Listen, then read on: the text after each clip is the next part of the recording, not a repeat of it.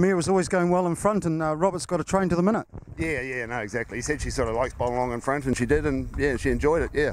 Like you didn't have to do much in the straight either. No, she did it well. No, she did it very well. Yeah, no, nice big mare. Big night for the Hurley Barn tonight. We've got Walkinshaw, Ahoka Punter, one over to Moon. All winning chances, Tony. They're all chances. Yeah, we'll have to wait and see. Anyone that you like in particular for our viewers? Um, probably this one was the nicest one. ah, good answer. Thank you, Tony. okay, mate.